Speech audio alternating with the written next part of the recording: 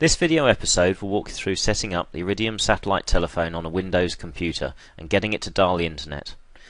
The prerequisites for this step are that we assume that you've already installed our ExpressMail software utility. Once you've done so, you'll see it appear as a little red boat down by the clock. Here it is.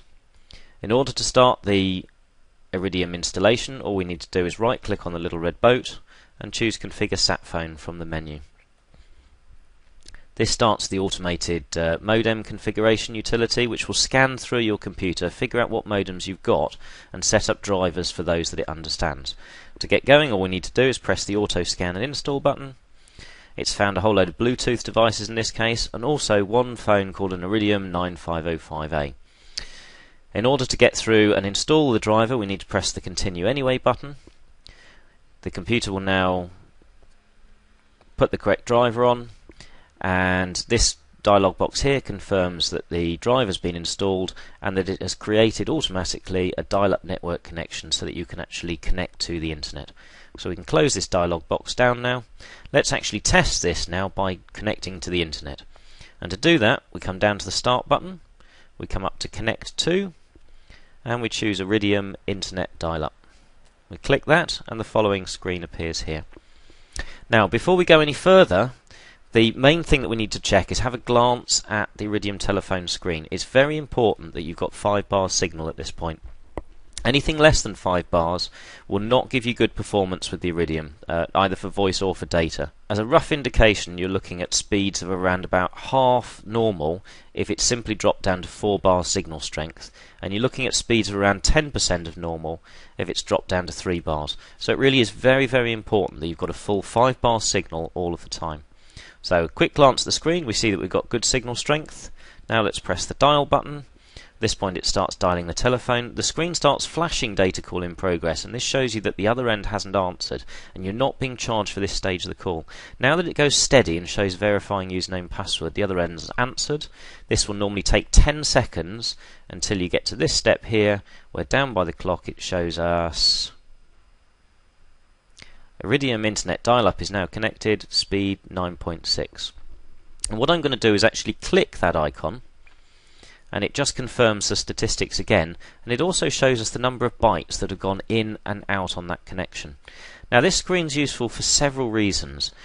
Uh, what we're looking for, there are no programs deliberately using the internet at the moment. So when I come into this screen, I would expect to see these number of bytes to be low, and most importantly, not to be increasing.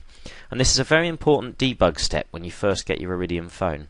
You've really only got enough bandwidth to do small amounts of internet, and it's very important that no, no program on your computer is wasting that bandwidth without your permission. So coming in here, we can see that we got 5,000 bytes have been sent and 1,500 bytes have been received. To give you a rough idea, Iridium can do around about 20,000 bytes per minute in both directions. So these numbers here would represent a fairly normal uh, connection attempt uh, where the computer's configured pretty optimally. It does take a few thousand bytes while it sets itself up, but the key thing is we can see that it's not increasing. If on your computer you can see these numbers scrolling up, you'll need to go and look through our debugging section uh, to have a look and see how you can figure out what program it is on your computer that's wasting the internet without your permission. Let's now have a look at how we can hang up the satellite telephone. Uh, as with many things in Windows, there's uh, quite a few ways of doing everything. We can come down to the same icon that we clicked before. We can right click on it and choose disconnect. We've also got the big disconnect button that was here on the uh, status page. Uh, and if you're really stuck, you can just simply yank the cable out the side of the computer or turn the telephone off. Both of those will cause the connection to be hung up.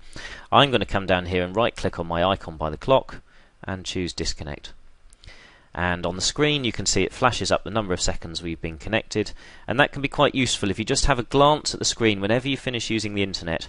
First of all we can see that the connection has hung up. It's no longer got the data call in progress. And secondly we can just have a quick look and see how many seconds each call's used and perhaps get a rough idea of how much consumption we've got. I'm just going to highlight one of the most useful features of the automated installer, and that's that you can run it as many times as you like. So what I've done is I've pulled out the cable for the Iridium telephone and plugged it into a different USB port on the computer. And this simulates one of the most common problems we see. So in this situation, I might come along and try and dial the internet, and let's see what kind of error message we might receive. So I come along and I do my normal steps to connect to the internet. I press dial, and at this point I get this fairly random and unhelpful error message. The modem or other connecting device is already in use or is not configured properly. It's a bit of a meaningless error message, but the important thing to know is this really indicates that the computer is confused about the modem that's installed and needs some help figuring out what's going wrong. The way to fix that, all we need to do, come back to our little red sailboat, right click, choose configure sat phone.